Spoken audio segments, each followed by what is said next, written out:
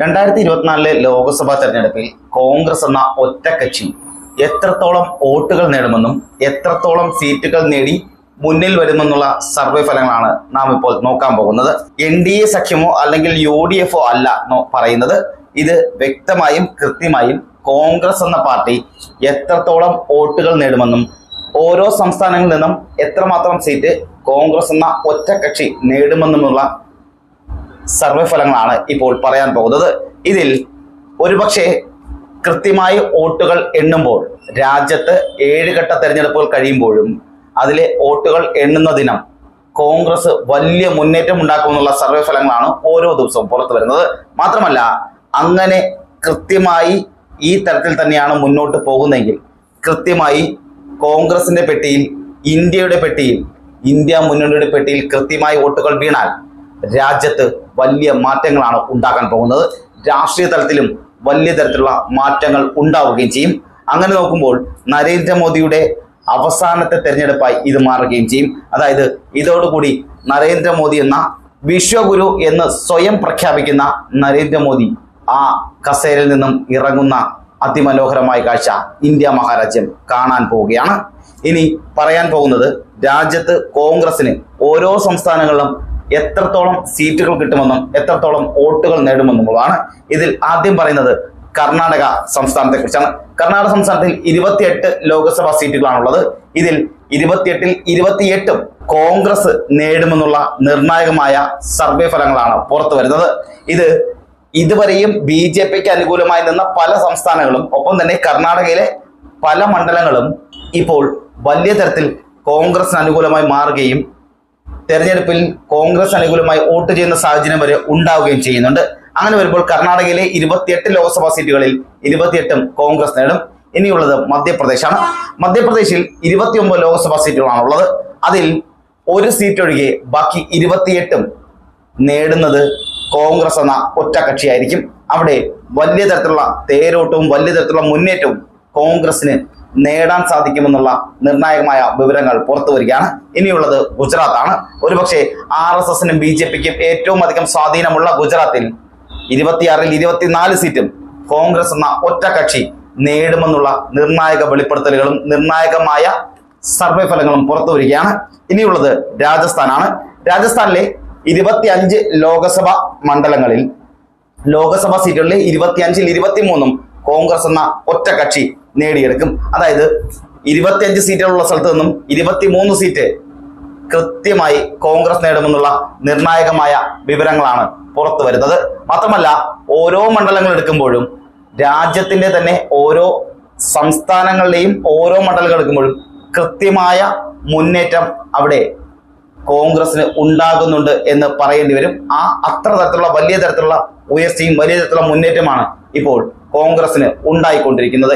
ഇനി നമ്മൾ പറയാൻ പോകുന്നത് ഒഡീഷയാണ്. ഒഡീഷയിലുള്ളത് ഇരുപത്തിയൊന്ന് ലോക്സഭാ മണ്ഡലങ്ങളാണ്. ഈ ഇരുപത്തിയൊന്ന് ലോക്സഭാ മണ്ഡലങ്ങളിൽ പതിനെട്ട് സീറ്റും കോൺഗ്രസ് പിടിക്കും. തെലങ്കാനയിലും ഇതേ അവസ്ഥയാണ്. തെലങ്കാനയിലെ പതിനേഴിൽ പതിനേഴും കോൺഗ്രസ് എന്ന ഒറ്റക്കക്ഷി നേടുകയും ചെയ്യും.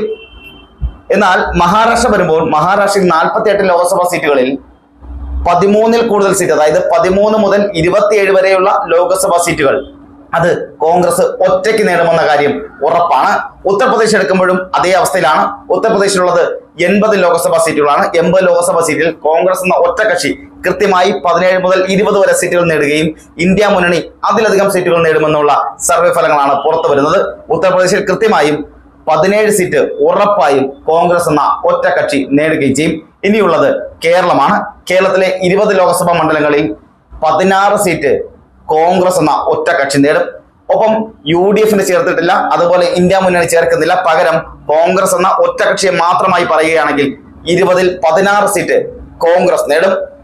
പഞ്ചാബിലും ഇതേ അവസ്ഥയാണ്. പഞ്ചാബിൽ ഒരുപക്ഷെ വലിയ തരത്തിലുള്ള മുന്നേറ്റമാണ് കോൺഗ്രസ് ഉണ്ടാക്കുന്നത്. പതിമൂന്നിൽ പതിമൂന്ന് സീറ്റും കോൺഗ്രസ് തന്നെ നേടുമെന്നുള്ള നിർണായകമായ വിവരങ്ങളാണ് പുറത്തു വരുന്നത് ആസാമിലുള്ള പതിനാല് സീറ്റിൽ പതിനാലിൽ പതിമൂന്നും കോൺഗ്രസ് നേടും.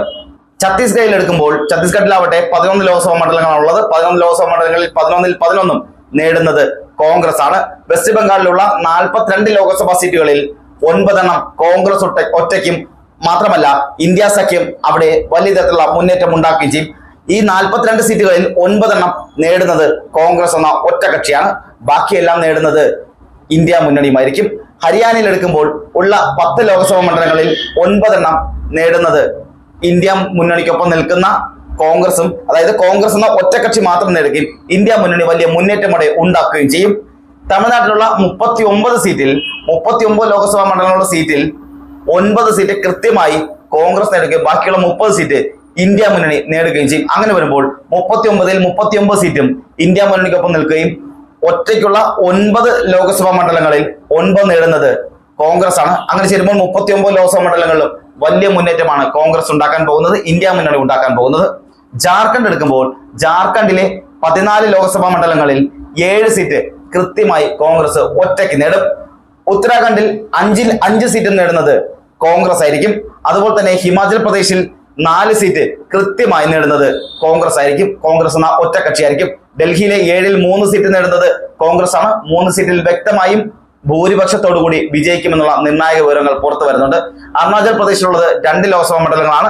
രണ്ടിൽ രണ്ടും നേടുന്നത് കോൺഗ്രസ് ആണ് ഗോവ എടുക്കുമ്പോൾ ഗോവയിലും രണ്ട് ലോക്സഭാ സീറ്റുകളാണുള്ളത്. അതിൽ രണ്ടും ഇന്ത്യ മുന്നണിക്ക് ഒപ്പം നിൽക്കുന്ന കോൺഗ്രസ് ശക്തമായി നേടുമെന്നുള്ള വിവരങ്ങളാണ് പുറത്തു വരുന്നത്.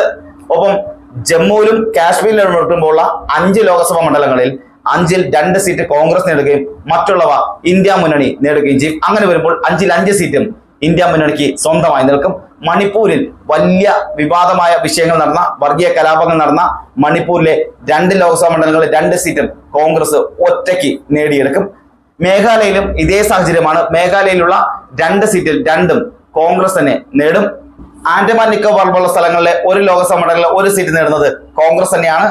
ചണ്ഡീഗഡിൽ നേടുന്നതും കോൺഗ്രസ് ആണ്. ലഡാക്കിലും കോൺഗ്രസ് തന്നെയാണ് വലിയ മുന്നേറ്റം ഉണ്ടാക്കുന്നത്. ലക്ഷദ്വീപിലും കോൺഗ്രസ് ആണ് വലിയ മുന്നേറ്റം ഉണ്ടാക്കുന്നത് ഉള്ള ഒരു സീറ്റ് കൃത്യമായി കോൺഗ്രസിന് കിട്ടുകയും ചെയ്യും. മിസോറാമിലുള്ള ഒരു സീറ്റ് അതും കോൺഗ്രസിന് സ്വന്തമാകും. അതുപോലെ തന്നെ നാഗാലാൻഡിലും കോൺഗ്രസ് ഒറ്റയ്ക്ക് പിടിക്കും. പുതുച്ചേരിയിലും കോൺഗ്രസ് ഒറ്റയ്ക്കാണ് നേടാൻ പോകുന്നത്. മാത്രമല്ല സിക്കിമിലും ഇതേ സാഹചര്യമാണ് ഒരു സീറ്റ് കൃത്യമായി കോൺഗ്രസ് നേടും.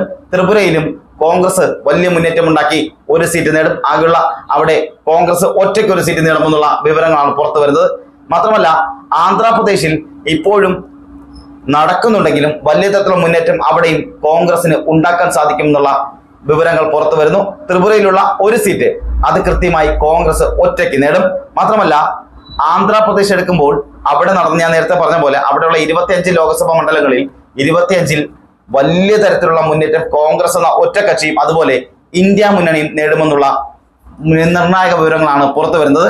രാജ്യത്തെ എല്ലായിടത്തും ഇന്ത്യ സഖ്യം വലിയ തരത്തിൽ മുന്നേറ്റം ഉണ്ടാക്കുമ്പോൾ തന്നെ അഞ്ഞൂറ്റി നാൽപ്പത്തി മൂന്ന് ലോക്സഭാ സീറ്റുകളുള്ള രാജ്യത്തെ ഓരോ സംസ്ഥാനങ്ങളിലും കോൺഗ്രസ് വലിയ തരത്തിലുള്ള ഉയർച്ചയും വലിയ തരത്തിലുള്ള മുന്നേറ്റമാണ് ഉണ്ടാക്കുന്നത്. മാത്രമല്ല അഞ്ഞൂറ്റി നാൽപ്പത്തി മൂന്ന് ലോക്സഭാ മണ്ഡലങ്ങൾ സീറ്റുകളിൽ ഇരുന്നൂറ്റി തൊണ്ണൂറ്റി ആറ് സീറ്റുകളിൽ അതായത് ഇരുന്നൂറ്റി തൊണ്ണൂറ്റി ആറ് സീറ്റുകളിൽ അധികമായി കോൺഗ്രസ് വലിയ മുന്നേറ്റം ഉണ്ടാക്കുകയും രാജ്യത്ത് കോൺഗ്രസ് ഒറ്റയ്ക്ക് ഭരണം കൈയാളുകയും ചെയ്യും. ഒപ്പം ഇന്ത്യ മുന്നണി സഖ്യം കൂടി ചേരുമ്പോൾ ഇന്ത്യ സഖ്യം കൂടി ഒരുമിച്ച് ചേരുമ്പോൾ വലിയ തരത്തിലുള്ള മുന്നേറ്റമാണ് ഇന്ത്യ സഖ്യത്തിന് ഉണ്ടാകാൻ പോകുന്നത് രാഹുൽ ഗാന്ധി പ്രധാനമന്ത്രിയാക്കാൻ പോകുന്നത്. മാത്രമല്ല കോൺഗ്രസ് ഒറ്റയ്ക്ക് ഭരിക്കാൻ മാത്രം അത്രത്തോളം വലിയ വളർച്ചയാണ് ഇത്തവണ കോൺഗ്രസിന് ഉണ്ടാകാൻ പോകുന്നത്. ഇരുന്നൂറ്റി തൊണ്ണൂറ്റി ആറ് സീറ്റുകളിൽ അധികമായി ഏതാണ്ട് മുന്നൂറോളം സീറ്റുകൾ കോൺഗ്രസ് ഒറ്റയ്ക്കും സഖ്യകക്ഷികളെല്ലാം കൂടി ചേർന്ന് അതിലധികം സീറ്റുകളും നേടുമെന്നുള്ള നിർണായകമായ വിവരങ്ങളും നിർണായകമായ എക്സിറ്റ് പോളുകളുമാണ് പുറത്തു വരുന്നത്.